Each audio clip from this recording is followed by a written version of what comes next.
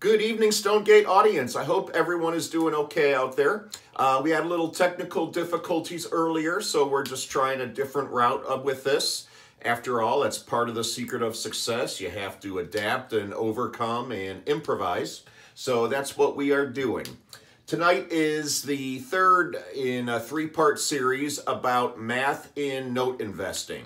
Just some of the key mathematical things, equations, formulas, if you want to call it that, uh, things that we use to project, you know, returns and likelihood of success with our note uh, investing. So the first thing that I look at here is gross discount, which I define as the purchase price divided by the unpaid balance. Um, this is essentially just a measure of the discount that you are buying the full unpaid balance for. It comes into special uh, importance and uh, emphasis if you're able to get an early payoff on a note. If you're buying that unpaid discount at a steep, excuse me, that unpaid balance at a steep discount, and then the note pays off early, say they refinance or they move out and sell the house, that will skyrocket your return. Or, kind of an advanced strategy, is if uh, me as a note investor, if I know a mortgage broker or a loan officer or someone that can work with a borrower in order to get them qualified for a refinance, it's kind of a win-win for everybody. It's better for the uh, borrower if they can get a better interest rate. Uh, the note broker makes at least some money on the refinance, and it also skyrockets my return. So that's a good move. The next thing I look at here is obviously the yield. I want to know what my return on investment will be, my yield. They're not exactly the same thing, but that's another story. But the way you would calculate that with Microsoft Excel is typing the word rate, parentheses, term, comma, your negative uh, principal and interest or whatever payments it is you're getting.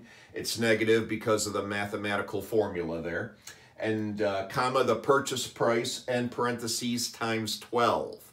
So that all sounds well and good. That is kind of the full exact uh, yield calculation with that. Um, however, what if you're, you know, just trying to get like a quick idea or what if you're not at home in your office, you don't have your computer with you. Uh, another really even simpler way you can figure it out, it's not quite as precise, but you can just take the annual income of whatever note or investment it is you're looking at getting and then divide that by the purchase price. And this is really quick and easy. You could almost do it by hand if you need to, or you could just use a simple basic uh, calculator or even just a, you know, a smartphone. Um, the other thing, detail with this I would recommend is you just want to think about this is your yield for one year. So that could either be adjusted up or down depending on the circumstances. So say it was a non-performing note and you finally did get them to reperform, but say it took you uh, three months to do so. Well, that will decrease your yield in at least that first year because instead of that uh, payment times 12 months, you're only timesing it by nine months, okay? Uh, or say it's a performing note and uh, they are either late or maybe they miss one month, for example. Same token, that will decrease that.